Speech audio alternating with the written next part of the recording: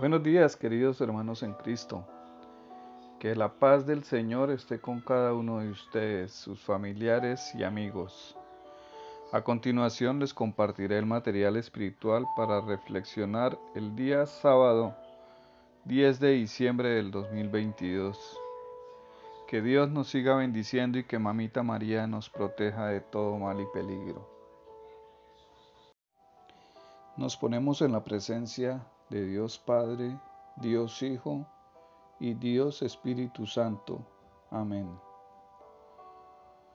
Llenos del Espíritu Santo, acudamos a nuestro Padre diciendo, Envía Señor a nuestros corazones la abundancia de tu luz, para que avanzando siempre por el camino de tus mandatos, nos veamos libres de todo error. Por Jesucristo nuestro Señor. Amén.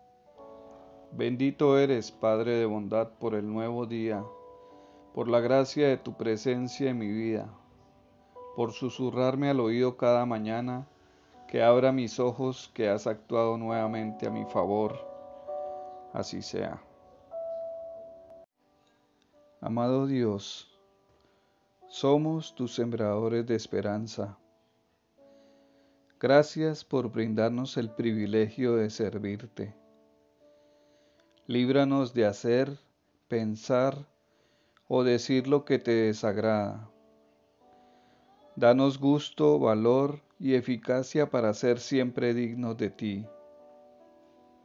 Concédenos la gracia de escuchar, difundir, amar, entender, meditar bien tu palabra y ponerla siempre en práctica. Aumentanos y consérvanos siempre la fe, la esperanza y la caridad. Haz que nuestras manos sirvan para sembrar, cuidar, cosechar y conservar la fe, la esperanza y el amor en nuestros semejantes con alegría y dedicación. Amén. Oración de apertura.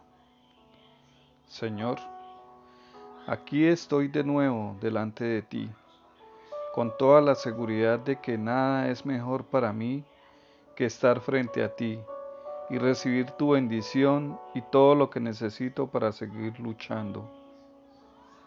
Para mí no hay nada mejor que comenzar el día con este diálogo, con esta oración que me impulsa para tratar de ser cada vez mejor.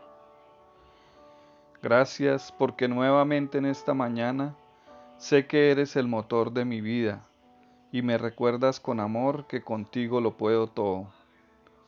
Acepta los ofrecimientos y deseos de mi corazón para que de día y de noche no cese de alabar tu santo nombre.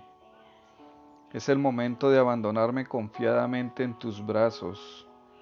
Quiero pedirte que me des la capacidad para liberarme de todos aquellos pensamientos y sentimientos negativos que se apoderen de mi mente y de mi corazón y no me dejan ser libre para construir cada una de las acciones.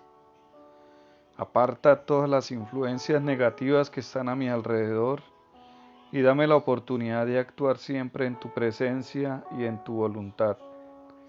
Confío en ti, Señor. Estoy seguro que en este momento estás actuando en mi vida para que esté listo para continuar en la lucha. Gracias por tu bendición y por tu amor. Amén. Salmo del día. Del Salmo 79. Respondemos todos, ven Señor a salvarnos. Escúchanos, pastor de Israel, tú que estás rodeado de querubines Manifiéstate, despierta tu poder y ven a salvarnos. Todos, ven Señor a salvarnos. Señor, Dios de los ejércitos, vuelve tus ojos, mira tu viña y visítala. Protege la cepa plantada por tu mano, el renuevo que tú mismo cultivaste. Todos, ven Señor a salvarnos que tu diestra defienda al que elegiste, al hombre que has fortalecido. Ya no nos alejaremos de ti. Consérvanos la vida y alabaremos tu poder. Todos, ven Señor a salvarnos. Este salmo presenta en alguno de sus versículos un gran lamento por la indiferencia de Dios ante las oraciones hechas por un pueblo destruido por desobedecer las leyes de la creación. Es la súplica de un pueblo por recibir nuevamente las enseñanzas de Dios que pide este pueblo su clemencia y su regreso para que sea nuevamente guía de esta nación. Evangelio del día. Aleluya, aleluya. Preparen el camino del Señor, hagan rectos sus senderos, y todos los hombres verán al Salvador. Aleluya, aleluya. Elías ha venido ya, pero no lo reconocieron. Lectura del Santo Evangelio según San Mateo capítulo 17, de los versículos 10 al 13. En aquel tiempo, los discípulos le preguntaron a Jesús, ¿por qué dicen los escribas que primero tiene que venir Elías? Él le respondió, ciertamente Elías ha de venir y lo pondrá todo en orden. Es más, yo les aseguro a ustedes que Elías ha venido ya pero no lo reconocieron, e hicieron con él cuanto les vino en gana. Del mismo modo, el Hijo del Hombre va a padecer a manos de ellos. Entonces entendieron los discípulos que les hablaba de Juan el Bautista. Palabra del Señor, gloria a ti Señor Jesús. Este pequeño diálogo revela que Jesús es el Mesías largamente esperado en Israel. Nos revela que Dios es siempre veraz en sus promesas y que está en completo control de todo. Así, podemos estar totalmente en paz, sin importar lo que suceda. Jesús presiente su pasión y muerte con fuerza. Esto nos puede ayudar a aceptar el sufrimiento y las dificultades en nuestras vidas. Consejo espiritual. Las promesas de Dios se cumplen en el Mesías sufriente. Después de la escena de la transfiguración, en la que aparecía Elías al lado de Jesús, los tres apóstoles que contemplaron la visión preguntaron al Maestro qué hay de ese profeta que dicen los letrados que va a volver.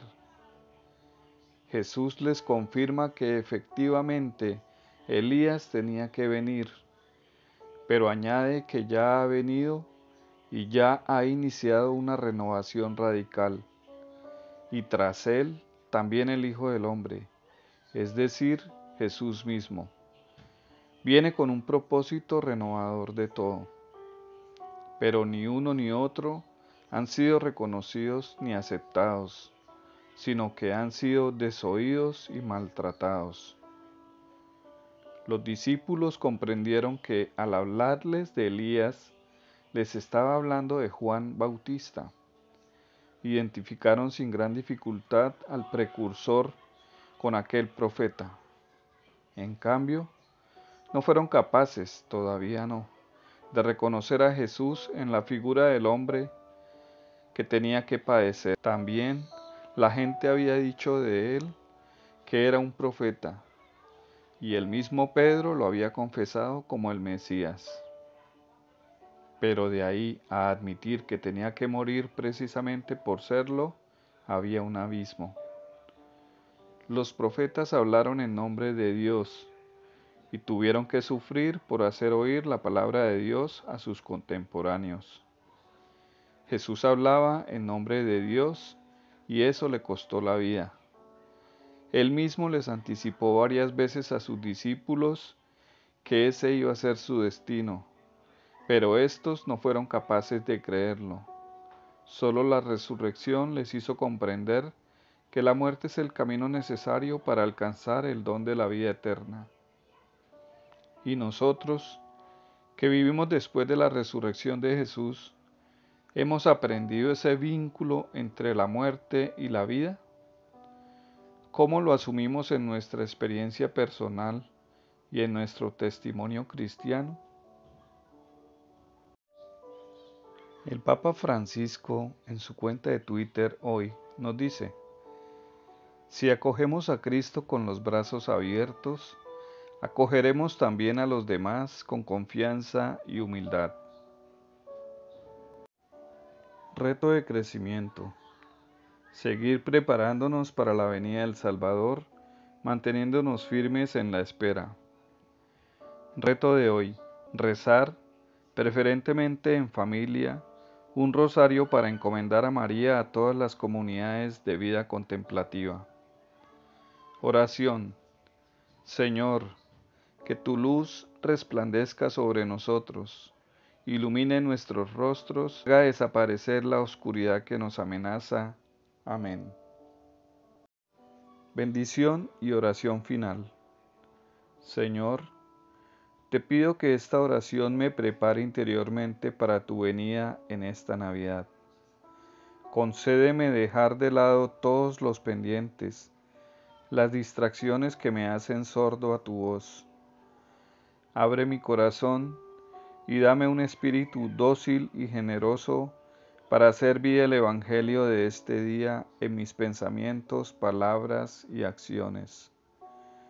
Como bautizado, soy como un nuevo Elías o Juan el Bautista, un instrumento para preparar y abrir los corazones de los demás para la venida de tu Hijo. María, en este sábado dedicado a tu memoria, Enséñame a reconocer a tu Hijo Jesucristo por medio de la oración. Intercede ante tu Hijo para que aumente mi fe y tenga la confianza que tú siempre tuviste y sobre todo la humildad que caracterizó tu vida para cumplir así con todo lo que me pidas. Amén. Que no me falten, Jesús mío, tu amor y tu mirada que no me falte la cruz, porque ella me acerca a ti, mi Maestro. Que tampoco me falte tu fuerza para llevarla con cariño, con gratitud, con confianza. Que no me falte el deseo incesante de vivir en ti cada instante de mi vida. Que no me falte el anhelo de santidad que le da a mi existencia un color diferente.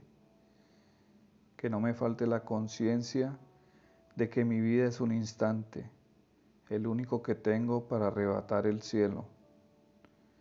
No me faltes nunca, porque todo lo demás es polvo y aire, porque solo tú permaneces, porque solo tú me llenas el alma de plenitud.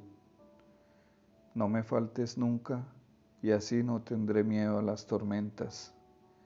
Si me faltas tú, yo no soy nada. No importa lo que tenga que vivir si me das tu amor y tu gracia. Todo con tal de estar contigo eternamente en el cielo. Te pertenezco, mi amado Jesús. Hoy te lo digo de nuevo. Estás conmigo, estoy contigo. Que mi casa sea tu corazón y que mi corazón sea tu casa para siempre. Quédate conmigo, Señor que me falte todo, pero nunca tú.